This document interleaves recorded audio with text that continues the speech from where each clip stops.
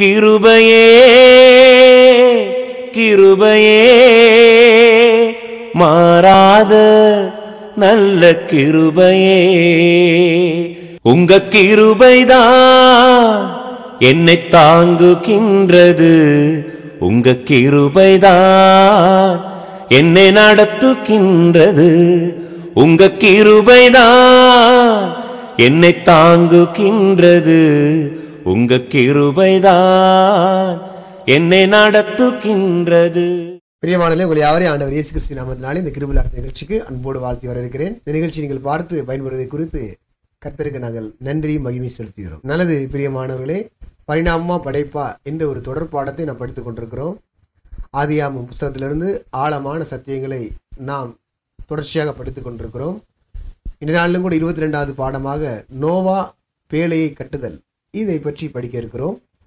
இந்த உலகத்தினுடைய முதல் கப்பல் ஏறக்குறைய நாலாயிரத்தி ஐநூறு ஆண்டுகளுக்கு முன்பாக நோவா என்பவரால் கட்டப்பட்டது. இந்த பேழையை கட்டுவதற்கான அளவுகள் தரவுகள் எல்லாம் எல்லாம் வல்ல கர்த்தராலே கொடுக்கப்பட்டது. மழை என்ற ஒன்று இல்லாத காலத்துல வெள்ளம் என்று ஒன்று ஏற்படாத காலத்துல இயற்கை பேரழிவுகள் எதுவும் நிகழாத ஒரு காலத்துல ஒரு மக மிகப்பெரிய மகா பயங்கரமான பேரழிவு நீரினாலே ஏற்பட போவது அதிலிருந்து கடவுளுக்கு பயந்த ஒரு எட்டு பேரை காப்பாற்றுவதற்காக இந்த பேழை கட்டப்பட்டது. இந்த பேலையை கட்டும்படியாக கொடுக்கப்பட்ட அந்த அளவுகள் முன்னூறு ஐம்பது முப்பது.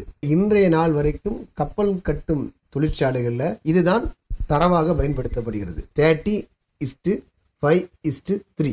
இந்த ஃபார்முலாவை தான் பயன்படுத்தி இன்னைக்கு எல்லா இடங்கள்லையும் கப்பல் கட்டுற தொழிற்சாலையில் கப்பல் என்ன செய்கிறாங்க பெரிய பெரிய கப்பல்களை கட்டுறாங்க. இந்த அளவு தான் கடலில் கப்பல் மிதக்கிறதுக்கு சரியான அளவாக இருக்கிறது. ஸோ இது வந்து ஒரு விஞ்ஞான ரீதியான ஒரு உண்மையாக இருக்கிறது. ஸோ அப்படிப்பட்ட ஒரு கப்பலையும் அதை கட்டியவரையும் அது கட்டுவதற்கான காரணத்தையும் படிக்க நம் மனதை ஆயத்தப்படுத்தலாம். நிகழ்ச்சியை பாருங்க கவனமாக கேளுங்க.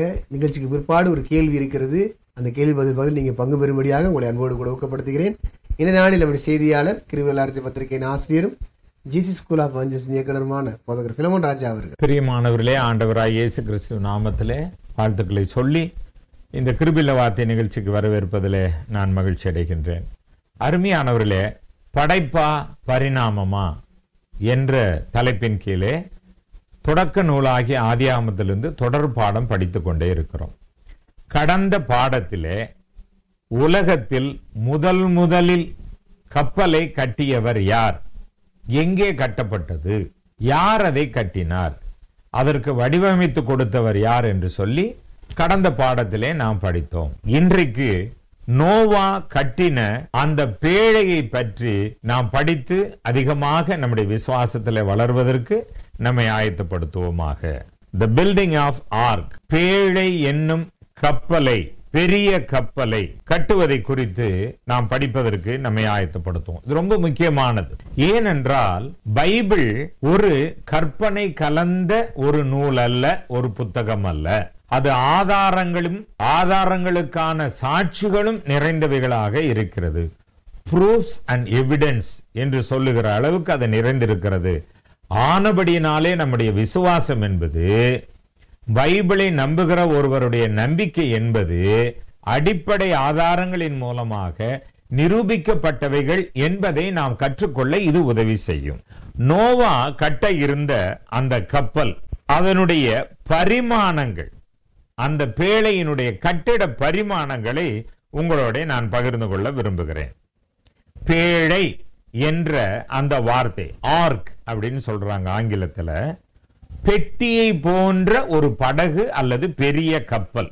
ஆதியாகமம் ஆறாம் அதிகாரம் பதினான்கு பதினைந்தாவது வசனம். நீ கொப்பேர் மரத்தால் உனக்கு ஒரு பேழையை உண்டாக்கு அந்த பேழையிலே அறைகளை உண்டு பண்ணி அதை உள்ளும் புறமுமாக கீழ்பூசு நீ அதை பண்ண வேண்டிய விதம் என்னவென்றால் பேழையின் நீளம் முன்னூறு முழமும் அதன் அகலம் ஐம்பது முழமும் அதன் உயரம் முப்பது முழமுமாய் இருக்க வேண்டும். பேழை அப்படின்றது பெட்டி என்ற அர்த்தத்தில் உள்ள ஒரு கப்பல். இதனுடைய அளவு இங்கே சொல்லப்பட்டிருக்கிறது. கீழ்பூசு அப்படின்னா பிச்சு கட்டி அப்படின்னுவாங்க. கருப்பா இருக்கும் அதை தடவிட்டா ஈரம் அடிக்காமல் ஈரம் போத்து போகாமல் அது இருக்கும். பதினாறாவது வசனம் இப்படி சொல்லுகிறது. நீ பேழைக்கு ஒரு ஜன்னலை உண்டு பண்ணி மேல் தட்டுக்கு ஒரு முழ தாழ்த்தியிலே அதை செய்து முடித்து பேழையின் கதவை அதன் பக்கத்தில் வைத்து கீழ் அறைகளையும் இரண்டாம் தட்டின் அறைகளையும் மூன்றாம் தட்டின் அறைகளையும் பண்ண வேண்டும். பைபிள் ஒரு கற்பனை கலந்த நூல் அல்ல. நம்முடைய நம்பிக்கைக்கு பைபிளை படிக்கிறோம். அந்த பைபிளில் சொல்லப்பட்டவைகளுக்கு ஆதாரம் இருக்கிறது என்பதை நாம் புரிந்து கொள்ள வேண்டியவர்களாக இருக்கிறோம். இந்த பேழை என்ற பெட்டியை போன்ற ஒரு கப்பல் இந்த வார்த்தையை நான் அடிக்கடி சொல்றேன் நம்ம பின்னாடி படிக்கிறப்ப அதனுடைய அர்த்தத்தை புரிந்து கொள்வோம். நானூத்தி முப்பத்தி எட்டு அடி நீளம் எழுபத்தி மூணு அடி அகலம் நாற்பத்தி நான்கு அடி உயரம். இன்றைக்கு கணக்கிலே நாம் எடுத்துக்கொள்வோமே என்றால். முதலே படிச்சோம் அல்லவா? முன்னூறு இன்ட்டு ஐம்பது இன்ட்டு முப்பது. இது என்ன சொல்றாங்கன்னா இம்பாசிபிள் டு டிப் ஓவர் நிமிர்ந்த நிலை அல்லது சாதாரண நிலையிலிருந்து தலைகீழாக கவிழ்க்க முடியாத திரும்ப முடியாத ஒரு நிலையிலே கடவுள் இதை உண்டாக்கினார் என்பதை நாம் மறந்து போய்விட வேண்டாம். தலைகீழாத திரும்ப முடியாது அப்படின்னு சொல்லப்படுகிற இந்த பெரிய கப்பல் அதை பற்றி இன்னும் விவரத்தை கொஞ்சம் கவனிப்போம். One point four million cubic feet அப்படின்றாங்க. அதாவது மொத்த இடைவெளி என்ன அப்படின்னா அந்த அறையினுடைய இடம் என்னன்னா ஏறக்குறைய பத்து லட்சம் ஸ்கொயர் ஃபீட் சதுர அடி. அவ்வளோ பெருசு. அதனால சாதாரணமாக நினைக்க வேண்டாம். ஒரு பெட்டியை போல என்பதை நாம் புரிந்து கொள்வோம். கீழ்த்தளம் நடுத்தளம் மேல்தளம் என்று மூன்று அடுக்காக அது கட்டப்பட்டதை பைபிள் தெளிவாக பேசுகிறது.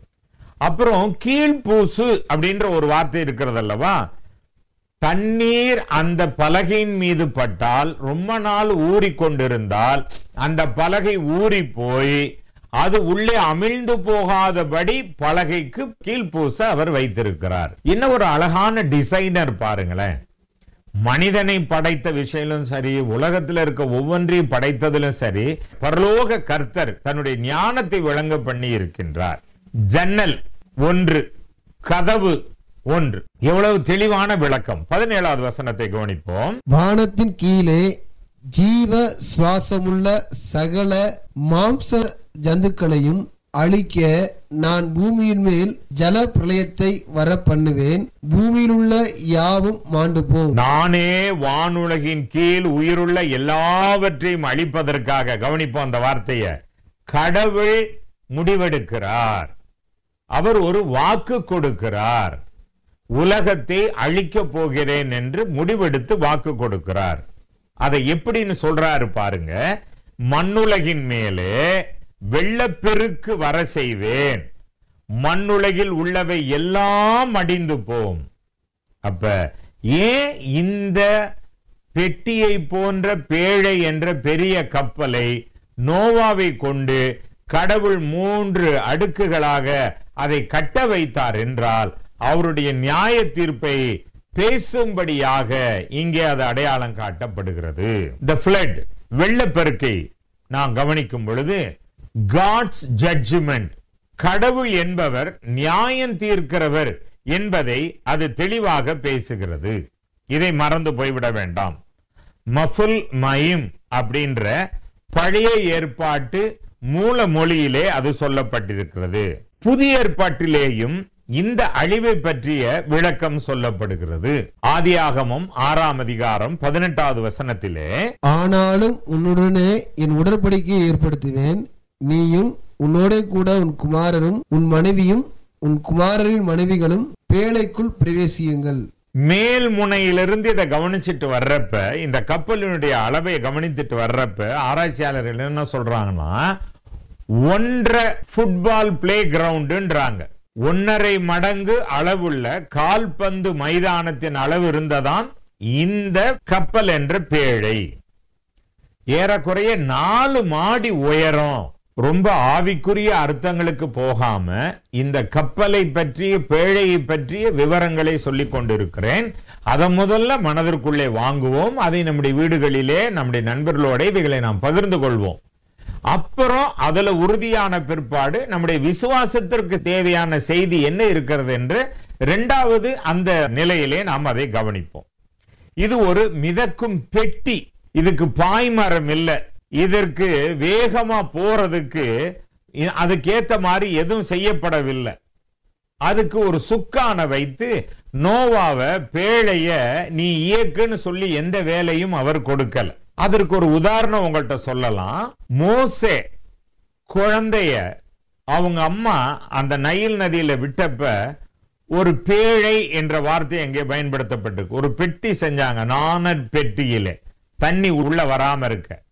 அந்த குழந்தையால சுக்கான மாதிரி இங்க அங்க திருப்பி போக முடியுமா? இல்ல. அந்த பெட்டி தானாதான் போகும். சரியா? சோ அதை மனதிலே நாம் வைத்துக் கொள்ளலாம். இன்னும் கொஞ்சம் புரியறதுன்னா உடன்படிக்கை பெட்டி அப்படின்றோம்ல அந்த மாதிரி அந்த வார்த்தை இங்கே பயன்படுத்தப்பட்டிருக்கிறது. மறந்து போய்விட வேண்டாம். அதனால கவிழ்ந்து விடுவதற்கோ சாய்ந்து விடுவதற்கோ முழுகி விடுவதற்கோ ஏதுவில்லாத அளவு வடிவம் தேவன் அதற்கு கொடுத்தார். தனக்குத்தானே அமுங்கி சாய்ந்து மேலே எழுந்து எழுந்து தண்ணீருக்கு மேலே மிதந்து கொண்டே அது இருக்கும். இதை மறந்து போய் விட வேண்டாம். தண்ணீரின் ஓட்டத்தோட ஓடும்படியாக அல்ல அது மிதந்து ஒரு இடத்துல நிற்கும்படியான திட்டத்தோட அது படைக்கப்பட்டிருக்கிறது. ஒரு லட்சத்து நாற்பதாயிரம் சதுரடி அப்படின்னு சொல்லி சொல்லப்பட்டிருக்கிறது. ஆராய்ச்சியில் என்ன சொல்றாங்கன்னா ஒரு ரயில்ல இருக்கிற ஐநூத்தி இருபத்தி ரெண்டு பெட்டி கூட்ஸ் பெட்டின்னு சொல்லுவாங்க இல்லைங்களா? சரக்கு வாகனம். ஐநூத்தி இருபத்தி ரெண்டு சரக்கு வாகனத்தை நிறுத்தினா எவ்வளவு நீளம் இருக்குமோ அந்த மாதிரின்றாங்க. இன்னொருத்தர் என்ன சொல்றப்ப சொல்றாங்கன்னா ஒரு லட்சத்தி இருபத்தையாயிரம் ஆடுகளை ஏத்தி அதை நிற்க வச்சா எவ்வளவு வசதி இருக்கும்? அவ்வளவு அகலமானது என்று சொல்லப்பட்டிருக்கிறது. ஏன் ஆடுகளை பற்றி சொல்லப்படுகிறது என்றால் மிருகங்கள் எல்லாம் அதற்குள்ளே ஏற்றப்பட்டன. சரி கட்டுமானத்தை பற்றி கவனிக்கலாம். அது எப்படி கட்டப்பட்டது என்று கொப்பேறு மரம். அது என்ன மரம்னு ஒரு பெரிய ஆராய்ச்சியில எல்லாம் தெரியல. ஆனா கொப்பேறு மரம் கோஃபர் வுட் என்று சொல்லப்படுகிறது. அந்த மரத்தை சொல்லும் பொழுது மூடுதல் என்ற வார்த்தை அங்கே பயன்படுத்தப்பட்டிருக்கிறது. சரிங்களா? பிச் அப்படின்னு இருக்கிறது. மூடுதல் அல்லது பரிகாரம் என்ற வார்த்தை இந்த மரத்திற்கு சொல்லப்படுகிறது. பிற்பாடு நாம் படிக்கும் பொழுது இன்னும் கொஞ்சம் ஆழமாக அதுவைகளை தெரிந்து கொள்ளலாம். சரி இப்ப ஒரு சுருக்கமாக கவனிக்கலாமா? பாருங்க ஒரு மரம் அது தண்ணீரிலே ஊறி போய் வீங்கி போய் அமிழ்ந்து போகாத பொருளாலே அது மூடப்பட்ட ஒரு பெட்டி இது. ஜன்னல் கதவு தெளிவாக இப்ரேய மொழியிலே சொல்லப்பட்டிருக்கிறது. அதாவது வெளிச்சம் வருவதற்கு திறக்கும்படியாக சாரளத்தில் என்ற அர்த்தத்திலே சொல்லப்பட்டிருக்கிறது. நல்ல கவனிப்போம் மனிதர்களும் விலங்குகளும் உள்ளே நுழைவதற்கு ஒரே ஒரு கதவு தான் அங்கே இருந்தது. இந்த கட்டுமானம் தரையில நடக்குது. பெரிய பிரம்மாண்டம். ஒன்றரை கால்பந்து மைதானம்னா எவ்வளவு பெருசா கட்டியிருப்பாரு? அப்போ ஊர் ஜனமே வந்து வேடிக்கை பார்த்திருக்கான்லவா இது என்ன அது இது என்ன செய்ய போகுது? இது எதுக்கு நீங்க கட்டுறீங்க? ஏற்கனவே இருக்கிறது பத்தலையான்றப்ப நோவா நூற்றி இருபது வருஷம் கடவுளுடைய நியாய தீர்ப்பை பற்றியும் பாவத்தை விட்டு மனம் திரும்புங்கள் என்றும் அவன் பிரசங்கம் பண்ணிக்கொண்டே வருகிறான். கொஞ்சம் ஆவிக்குரிய சிந்தனைக்கு நாம் இப்பொழுது இங்கே வந்திருக்கிறோம். அவன் சொன்னது என்னமோ கடவுளுடைய வார்த்தையா இருக்கலாம். ஆனா அங்க சுற்றி இருந்த மனிதர்கள் நிச்சயமா நோவாவை பரிகாசம் பண்ணியிருப்பாங்க. கேலி பண்ணியிருப்பாங்க. மழை வருமாப்பா? வெள்ளம் வருமா? இவ்வளோ பெருசு மிதந்து போக போதான். நன்றாக காதுகளை திறந்து இதயத்தை சுத்தம் பண்ணி திறந்து நெஞ்சார முழு நம்பிக்கையை உறுதிப்படுத்தும்படியாக இந்த வார்த்தையை கவனிக்கும்படி தாழ்மையோடைய உங்களை நான் கேட்கிறேன். இன்றும் சபைக்குள்ளே கிறிஸ்துவின் ரத்தம் இருக்கிறது என்றும் அந்த ரத்தம் தான் நம்முடைய பாவத்தை மன்னிக்கிறது என்றும் பத்திரமாக வாழ்ந்து பரலோகம் போய் சேர்வதற்கு ஆண்டவராகிய இயேசு கிறிஸ்துவனுடைய சரீரமாகிய சபைக்குள் கடந்த கால பாவத்தை விட்டு மனம் திரும்பி இயேசுவை கடவுளுடைய குமாரன் என்று அறிக்கையிட்டு விசுவாச அறிக்கையிட்டு பாவம் கழுவப்படும்படியாக திருமுழுக்கு பெற்று நோவாவாலே உள்ளே மக்கள் கொண்டு போகப்பட்டதை போல கர்த்தரால் அவருடைய சரீரமாகிய சபைக்குள் வந்து சேர்ந்து பத்திரமாய் இருங்கள் என்று சொல்லும் பொழுது இன்றைய உலகம் பரிகாசம் பண்ணுவதை போல அன்றும் ஒரு பரிகாச நிலைமை இருந்தது. ஆனாலும் இது நடந்தது உண்மை என்ற வரலாற்று குறிப்பு இந்த பைபிளிலே எழுதப்பட்டிருக்கிறது. இன்று உயிரோடே வாழ்ந்து கொண்டிருக்கிற நம் எல்லாருக்கும் பயங்கரமான அக்கினிக்கு நெருப்புக்கு இந்த உலகத்தை இறகியாக்க போகிறார். வானமும் பூமியும் எரிந்து அழிந்து போம். இதிலுள்ள ஒவ்வொன்றும் இல்லாமல் போய்விடும். ஆனபடியினாலே நாம் கவனமுள்ளவர்களாய் இருக்க வேண்டும். நியாய தீர்ப்பு கடவுளுடைய வீட்டிலே துவங்குகிறபடியால் சபைக்குள்ளே இருந்து துவங்குகிறபடியால் நீதிமானே ரட்சிக்கப்படுவது அரிதானால் பாவியும் பக்தி இல்லாதவனும் எங்கே நிற்பான் என்ற கேள்வியை நாம் கட்டாயமாக ஆழமாக முதலில் குடும்பத்தில் துவங்கி நாம் சிந்திக்க வேண்டியவர்களாய் இருக்கின்றோம். நன்றாக யோசித்து பாருங்கள் இன்னைக்கு எப்படி உலகம் நெருப்புல அரிஞ்சு போகும்னு சொல்றப்ப பரிகாசம் பண்றாங்களோ நியாய தீர்ப்பு கொடுமையானது என்று சொல்லும் பொழுது பரிகாசம் நடக்கிறதோ அல்லது ஏற்றுக்கொள்ள மனதில்லையோ அன்றும் நோவா இந்த கப்பலை கட்டின பொழுது இந்த பெட்டியை கட்டின பொழுது அந்த காலத்து மக்களுக்கும் அது வினோதமாக தோன்றியது. எவ்வளவு ஒப்பீடு? இயேசு இதுதான சொன்னார் ஞாபகம் இருக்கா? மனுஷகுமாரன் வருகிற காலத்தை ஒப்பிட்டு பேசும் பொழுது நோவாவின் காலத்தில் நடந்தது எப்படியோ அப்படியே நடக்கும் என்று நம்முடைய ஆண்டவராக இயேசும் சொன்னாரே. அப்ப இந்த நோவாவின் பேழையை பற்றி பெட்டியை பற்றி கப்பலை பற்றி வெள்ளத்தை பற்றி பெரும் வெள்ளத்தை பற்றி அதன் சூழ்நிலைகளை பற்றி நிச்சயமாக ஒவ்வொரு கிறிஸ்தவ குடும்பமும் உள்நோக்கி பார்த்து அமர்ந்து யாவரும் ஆராய்ச்சி செய்யும்படி கர்த்தர் அவருடைய வார்த்தையாகிய பரிசுத்த ஆவியானவரும் வார்த்தையானவரும் நம்மிடத்திலே நினைவுபடுத்துகிறார் என்பதை நாம் மறந்து போய்விட வேண்டாம். தண்ணீர் இல்லாத இடத்திலே மிதக்க போகிற ஒரு கருத்து. இந்த உலகத்திற்கு இப்படி நடக்கும் என்று சொல்லும் பொழுது பரிகாசம். தண்ணீருக்குள்ளே மூழ்கி எழுந்தால் எப்படி இயேசுவினுடைய ரத்தத்திற்கும் எனக்கும் சம்பந்தம் வரும் என்ற பரிகாசமான கேள்வி. தண்ணீருக்கும் இயேசுவின் ரத்தத்துக்கும் என்ன சம்பந்தம்? அல்லது திருப்பந்தியை பற்றி திருவிருந்தை பற்றி உலகம் பரிகாசம் பண்ணுகிறது. என்னப்பா கிறிஸ்தவங்க ஒண்ணு கூடி ஞாயிற்றுக்கிழமையில வைன் குடிக்கிறாங்களா அப்படின்னு பரிகாசம் பண்றாங்க. அது திராட்சை ரசம் என்று தெளிவாக சொல்லப்பட்டிருக்கிறது. சோ இன்னைக்கு நடக்கிற எதுவுமே திடீரென்று புதிதாக வந்ததல்ல. அன்று பேழையை கட்டும் பொழுது நோவாவுக்கு நடந்த சூழ்நிலையை நாம் கட்டாயமாக குடும்பமாக உட்கார்ந்து பேச வேண்டியவர்களாய் இருக்கின்றோம் நம்முடைய பிள்ளைகளுக்கு பைபிளில் சொல்லப்பட்ட கதைகளை சொல்லிக் கொடுக்க வேண்டிய வேலை நமக்கு இல்ல. பைபிளில் நடந்த வரலாற்று நிகழ்வுகளை historical events not the biblical stories kindly change your words Bible கதை என்று சொல்லி பிள்ளைகளுக்கு சொல்லிக் கொடுக்கிற மாபெரும் தவறை நாம் செய்கின்றோம். வேதாகம நிகழ்வுகள் நிகழ்ச்சிகள் என்று சொல்லி பிள்ளைகளுக்கு சொல்லிக் கொடுக்க வேண்டிய அந்த பெரிய பொறுப்பு நமக்கு இருக்கிறது என்பதை தாழ்மையோட உங்கள் மனதிலே நான் பதிய வைக்க விரும்புகிறேன். தண்ணீரில் மிதக்கும்ன்றாங்க. அங்கிருந்து கடல் எவ்வளவு தூரம்? அதை எப்படி ஒரு இங்கிருந்து தள்ளிட்டு போயிருப்பாரு?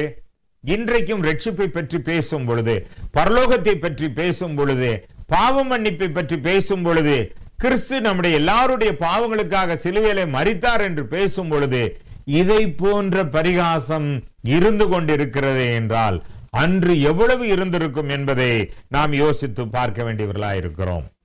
பாய்மரம் இல்லை சுக்கான் இல்லை. அதை போலதான் இன்று சபையும். சபைக்குள்ளே கிறிஸ்து நம்மை கொண்டு போய் விட்டார். போ போ பெரிய ரைட் ரெவரண்டோ பிஷப்போ கார்டினலோ அல்லது மாடரேட்டரோ ஒரு சபையை வழிநடத்த வேண்டிய அவசியம் இல்லை பேழைக்குள்ளே போனவர்கள் அவர்களை கர்த்தருடைய வார்த்தையின்படி நோவா எப்படி செய்தானோ பேழை சுமந்ததை போல இன்று சபைக்குள்ளே இருக்கிற ஒவ்வொரு மக்களையும் கிறிஸ்து அவருடைய வார்த்தையின் மூலமாக நம்மை வழிநடத்தக்கூடியவராக இருக்கின்றார். ஆனபடினாலதான் சபையிலே எல்லாரும் சமம் என்று வேதம் சொல்லுகிறது. ஒரு கிறிஸ்தவனாலே இன பாகுபாடோ சமுதாய பாகுபாடோ பார்த்து வாழ முடியாது. ஏனென்றால் பேழைக்குள்ளே இயேசுவின் ரத்தத்தினாலே கழுவப்பட்டு சபைக்குள்ளே வந்த எல்லாரும் சமமாக கருதப்படுகிறார்கள். கிறிஸ்துவே பிதாவினுடைய முதற் பேரானவர் என்றால் நாம் எல்லாருமே கிறிஸ்துவுக்கு அடுத்த சகோதர சகோதரிகளாய் இருக்கின்றோம். இதை நாம் யோசித்து பார்க்க வேண்டியவர்களாக இருக்கிறோம். பயங்கரமான அந்த வெள்ளத்திலே இந்த பெட்டியானது கப்பலானது பத்திரமாக பாதுகாக்கப்பட்டது. பேழை அவிசுவாசிகளுக்கானதல்ல. நம்ம எல்லாருக்கும் நன்றாக தெரியும். எத்தனை பேர் அங்க உள்ள போனாங்க அப்படின்னு சொல்லி. சோ அவிசுவாசிகளுக்கு பயனற்றதாக இருக்கிறது. சம்பந்தம் இல்லாததாக இருக்கிறது. இன்று சபையும் அப்படித்தான். சபையை அழித்து விட வேண்டும். சபையை இல்லாமலாக்கி விட வேண்டும். போட்டி நடக்கிறது இந்த உலகத்துல. நாங்கெல்லாம் மெயின் லைன் சர்ச்சஸ் சேர்ந்தவங்க நீங்களாம் குட்டி குட்டி சபையை சேர்ந்தவங்க ஆனால் எல்லார் கையிலும் ஒரே பைபிள் இருக்கிறது. நாங்கள் பிரிந்துதான் இருப்போம். ஏனென்றால் நாங்கள் பாரம்பரியமானவர்கள் என்று சொல்லிக்கொண்டு இன்று பிரிந்திருப்பதை போல. அன்றும் இந்த பேழையை பார்த்து மக்கள் அங்கீகரிக்கவில்லை என்பதை நாம் நினைவில் கொள்ள வேண்டியவர்களாக இருக்கிறோம் ஒருத்தர் ஒருத்தர் குறை சொல்வதற்காக நான் இந்த வார்த்தையை பேசவில்லை. உங்கள் மனதை புண்படுத்த வேண்டும் என்ற எண்ணத்தில் பேசவில்லை. ஆனால் அன்று பேலை கட்டப்பட்டதனுடைய நோக்கம் அவிசுவாசிகளுக்கு சம்பந்தமற்றதாக பயனற்றதாக ஒரு விதத்திலும் ஏற்றுக்கொள்ள முடியாததாக இருந்ததை போல இன்றும் சபையை பற்றிய தெளிவான எண்ணம் இல்லாமல் சபையை ஒரு பயனற்றதாக நாம் மாற்றிவிட வேண்டாம் என்பதை தாழ்மையோட உங்கள் மனதிலே நான் பதிய வைக்க விரும்புகிறேன். கடவுள் என்பவர் தீர்ப்பு வழங்குகிறவர். நோவாவை பயன்படுத்தி கடவுள் தன்னுடைய தீர்ப்பை பற்றிய வாக்குறுதியை கொடுக்கிறார். பதினேழு முதல் இருபத்தி ரெண்டு வசனங்களிலே இது தெளிவாக சொல்லுகிறது. உலகத்தின் பாவத்திற்கான நியாய தீர்ப்பை கொண்டு வர போகிறார் என்று அன்று நோவா அந்த பேழை ஆகிய கப்பலாகிய பெட்டியை மண் தரையிலே நடு இடத்திலே தண்ணீரில் அல்ல. அவர் கட்டினதை போல இன்றும் உலகம் பாதுகாக்கப்பட கிறிஸ்துவின் சரீரமாகிய ஒரே சபையை அவருடைய ஒரே சரீரத்தை அவர் நமக்கு ஆயத்தம் பண்ணி அதன் மூலமாக செய்தியை சொல்லிக் கொண்டே இருக்கிறார். மறந்து போய்விட வேண்டாம். கடவுள் இந்த உலகத்தை வெள்ளத்தினால அழிக்க போறாருங்க. எல்லாரும் மனம் திரும்பி பாவ வழியை விட்டு இந்த ப- பெட்டிக்குள்ள வாங்க இந்த கப்பலுக்குள்ள வாங்க நோவா கூப்பிட்டார். அன்று அந்த கப்பலை காட்டினார். இன்று அவரால் ரட்சிக்கப்பட்ட மக்கள் கூட்டமாகிய சபையை அடையாளம் காட்டுகிறார். நோக்கி பாருங்கள். அதாவது கிறிஸ்துவனுடைய சரீரத்திற்குள்ளே அவருடைய ரத்தம் இருக்கிறது. அந்த சரீரத்திற்குள்ளே அவருடைய ரத்தத்தினாலே கழுவப்பட்டு மீட்கப்பட்டவர்கள் உலகம் முழுவதும் அவயவமாக இருக்கின்றோம். அதற்கு ஒரே தலையாக கிறிஸ்து இருக்கிறார் என்று சொல்லப்படுகிறது. அதுவும் இன்று எண்ணப்படாமல் புறக்கணிக்கப்படாமல் நம்பிக்கை கொள்ளாதவர்களுக்கு நியாய தீர்ப்பை சிந்திக்க கூட முடியாமல் அல்லது யாராவது நம்பி விடுவார்களோ என்று சபையை இல்லாமல் ஆக்குகிற வேலை நடந்து கொண்டிருக்கிறது. பதினேழாவது வசனம் இப்படி சொல்லுகிறது. வானத்தின் கீழே ஜீவ சுவாசமுள்ள சகல மாம்ச தந்துக்களையும் அழிக்க நான் பூமியின் மேல் ஜல பிரளயத்தை வர பண்ணுவேன் பூமியில் உள்ள யாவும் மாண்டு போம் பிரியமானவர்களே கடவுளின் நியாய தீர்ப்பு என்னவென்றும் அது யாரை பாதிக்கிறது என்பது மிகவும் குறிப்பிடப்பட வேண்டிய ஒன்றாக இருக்கிறது. ஒன்று கடவுளே தீர்ப்பை கொண்டு வருபவர். கடவுள் இதற்கு காரணமாக இருக்கிறார். இயற்கையை பயன்படுத்தினார் என்று இங்கே நாம் சொன்னாலும் அந்த முடிவு கடவுளே எடுக்கின்றார். கடவுளே இயற்கையினுடைய சக்திகளை ஏனென்றால் எல்லாம் அவரிலிருந்து கடந்து வந்தது. எல்லாம் அவருக்குள் கடத்தி இருக்கிறது. பஞ்ச பூதங்கள் என்று சொல்லுவார்கள் அல்லவா? இந்த ஐம்பூதங்களும் அவரிலிருந்து கடத்தி வெளியே வந்தது. அவை அவ்வளவும் அவரால் கட்டுப்படும்படியாக அவருக்குள் கடத்தி கட்டுப்பட்டு இருக்கிறது. அவர் இப்பொழுது மனிதனுக்கு விரோதமாக அவர் உண்டாக்கின அவருக்கு மாத்திரமே கட்டுப்படக்கூடிய அந்த இயற்கையை அவர் பயன்படுத்துகிறார். வெள்ளம் மாபெரும் வெள்ளம் வெள்ள பெருக்கு சாதாரணமான வார்த்தை அல்ல. இது எங்கோ பூமியில ஒரு மூலையில நடந்துச்சுங்க. ஆமாங்க வந்திருக்குங்க பயங்கரமா இருந்திருக்குங்க. ஒரு நாட்டையே அழிச்சிருக்குங்க.